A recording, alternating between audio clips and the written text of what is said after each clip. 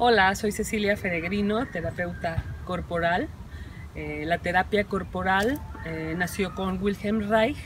Eh, Wilhelm Reich nos habla siempre de las corazas que hacemos, corazas, él le llama corazas caracterológicas y se traducen en tensiones musculares que vamos acumulando a lo largo de nuestra vida. Tenemos tensiones según en la etapa donde haya, hayamos tenido alguna frustración.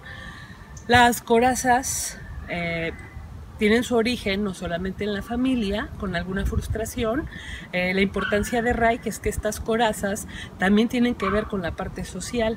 Eh, en la parte social a veces nos exigen cosas que no podemos cumplir, que no responden a nuestra naturaleza, que no responden a nuestras expectativas, pero que socialmente se nos están exigiendo.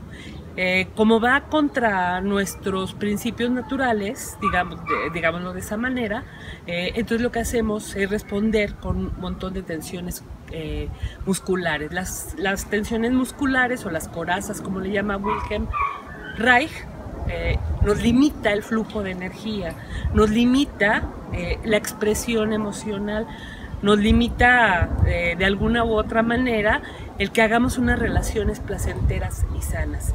En el orden social eh, nos lleva la pasividad. Eh, eso es a lo que nos llevan las corazas musculares. Eh, la propuesta de Ray nos lleva a una, una psicología social, digamos, donde también tenemos que analizar el conjunto de condiciones económicas para entender cómo estamos funcionando los seres humanos, que nos ha impedido de alguna manera expresarnos adecuadamente.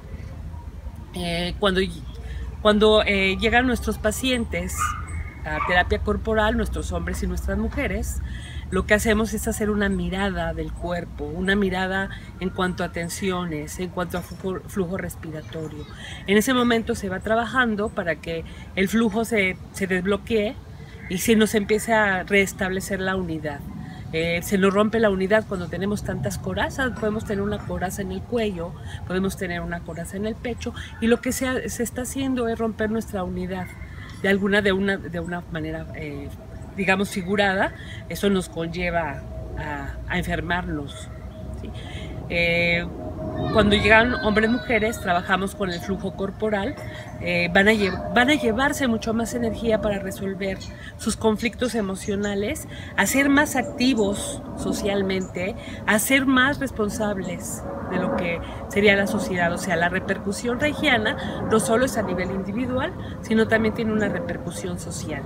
Eh, eso es lo que nosotros eh, procuramos hacer, desbloquear nuestras corazas y creo que eso nos hace una vida mucho más placentera, mucho más libre y sobre todo mucho más amorosa. Gracias.